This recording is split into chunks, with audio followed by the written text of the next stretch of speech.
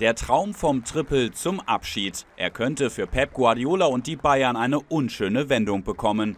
Es droht das negative Triple. Das dritte Aus im Champions League Halbfinale gegen eine spanische Mannschaft in Folge. Stolperstein in diesem Jahr Atletico. Das Hinspiel in Madrid verloren die Bayern 0 zu 1. Ich bin zufrieden für unsere Leistung. Äh, es ist nicht einfach, kommt hier im Halbfinale der Champions League und äh, ein Spiel die letzten 25 Minuten die erste Halbzeit und vor allem die zweite Halbzeit. Wir kriegen genug Torchancen, von denen ein Tor schießen.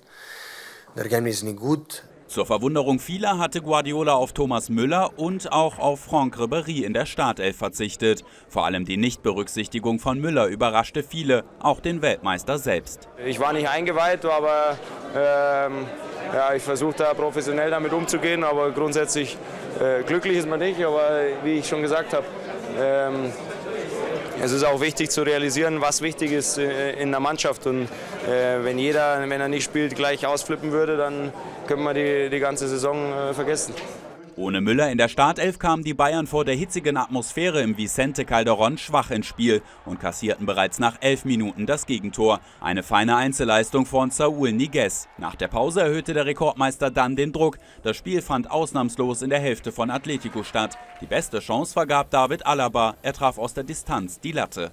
Ja, schade. Ein bisschen mehr Glück, dann wäre er vielleicht reingegangen, aber ist heute leider nicht so gewesen und ähm, ja, schade. Es ist schade, dass man mit dem 1 0 nach Hause äh, fährt, weil man es eigentlich verdient hatte, ja mindestens äh, mit dem 1 1 nach Hause zu fahren.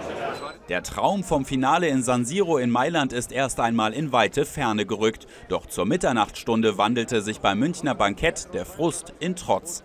Ich möchte nach Mailand. Ich glaube, alle hier mit dem Ergebnis hat man uns heute einen Stein, ohne Frage, in den Weg gelegt. Aber ich glaube, es gibt, gibt eine gute Gelegenheit am nächsten Dienstag in München, diesen Stein auch wieder aus dem Weg zu räumen. Doch dafür muss Pep Guardiola die richtige Aufstellung finden. Ansonsten würde der Spanier die Bayern ohne das ersehnte Triple und trotz aller nationaler Titel als Unvollendeter verlassen.